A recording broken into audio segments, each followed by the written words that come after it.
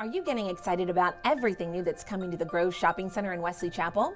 You might be after watching this Neighborhood News online news desk. I'm Susanna Martinez. And I'm Neighborhood News Editor Gary Nager. And Susanna and I will have that update to our last news desk right after this. Hi, I'm Bill Albert, co-owner of Total Air Solutions. We've been in business for 17 years. We're carrier factory authorized dealers. We do service all brands. If you have a problem, give us a call. We have 24-7 service. Whatever the day, whatever the time, we'll be there. In our last news desk about a month or so ago, we gave you an overview of new owner Mark Gold of Mishorim Gold's plans for the Grove Shopping Center in Wesley Chapel, located off Oakley Boulevard, north of State Road 54 along I-75. Since then, however, Gold and his staff have been busy every day signing up new businesses to join either the separate, long, mostly empty existing buildings across from the Grove's major retailers that he now calls the Village, or the not yet under construction container park designated for the space between the Village and Upex Steakhouse.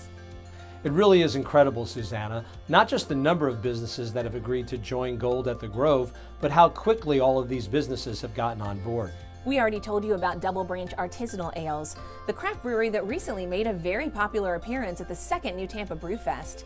Since then, finalized leases have been announced for restaurants such as Burger Brazil, Troublemaker's Dueling Piano Bar and Restaurant, a New York style pizza place, a Brooklyn Bagel Company store, a Cuban restaurant and rum distillery, and a dessert shop that will combine two local favorites.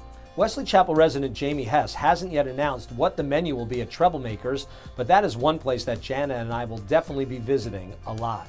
The New York style pizza place will be owned by the same owners as Best New York Pizza in the Pine Brook of the Grove Plaza on State Road 54, and the Cuban restaurant and distillery is owned by the same family that is opening Casa Cubana in another Mishorim Gold project in Raleigh, North Carolina.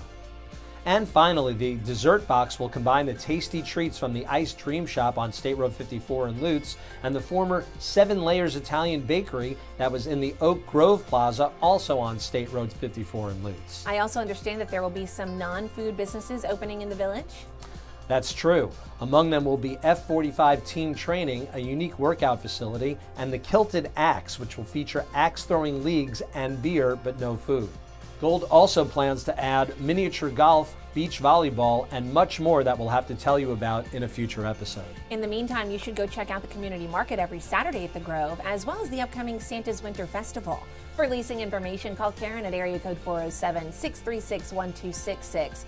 Or for event info, call Mateus at area code 407 534 0810. For Neighborhood News Online, I'm Susanna Martinez. And I'm Gary Nager. Remember to view, like, and share all of our videos on YouTube and Facebook, and look for an upcoming contest exclusively for those who subscribe to our Neighborhood News Online YouTube channel.